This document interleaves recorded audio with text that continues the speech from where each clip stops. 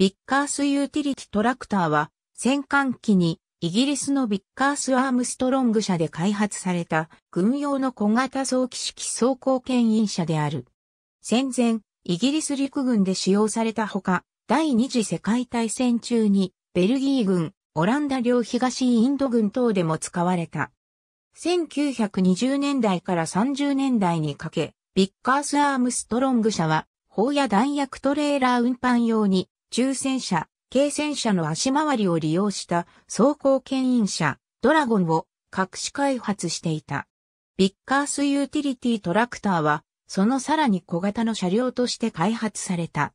車体形状は後期の軽ドラゴンのほぼ縮小型で、エンジンを車体中央後部に置き、全部中央に操縦手1名が登場した。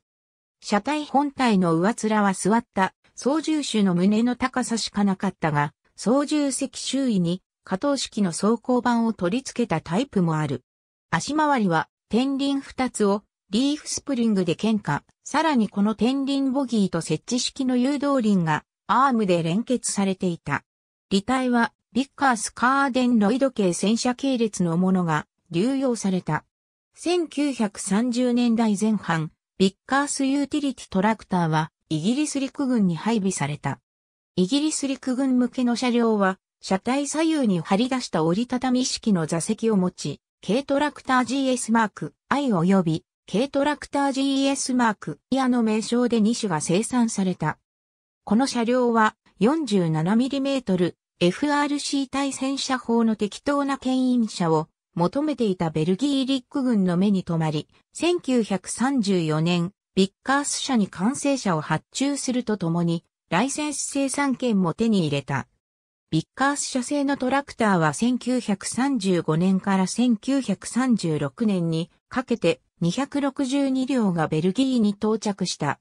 ベルギー向けの車両は戦闘時の保護用に運転席の周囲に可動式の走行板を持っていた。うち177両は不評型、85両は騎兵型で、不評型は操縦手1名のみが登場。騎兵型は車体後端にさらに2名の兵員を登場させるための後ろ向きの椅子を備えていた。さらにベルギー国内のファミュール製作所でのライセンス生産も開始されたが、これらは当初輸入された型よりも、左右の履体間、履体の設置長、車体長が延長された長車体型だった。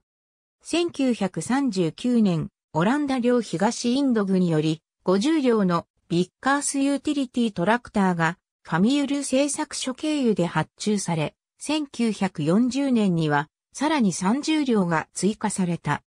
ベルギーで代行生産されたこれらユーティリティトラクターは約20両が実際にオランダ領東インド軍に引き渡され、対日戦時に使用されたと考えられているが、残りはドイツに接収されたか、あるいは未完成分は占領下でドイツ軍向けに生産された。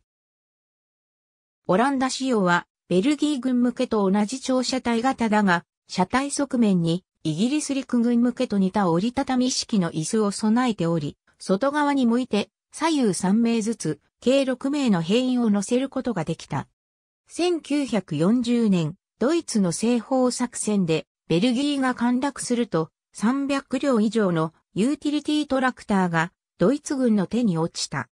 これらはアーティルーリー・シュレッパーバ601の名で対戦車砲の牽引に使用されたほか、若干の長車体型は爆薬運搬車に改装された。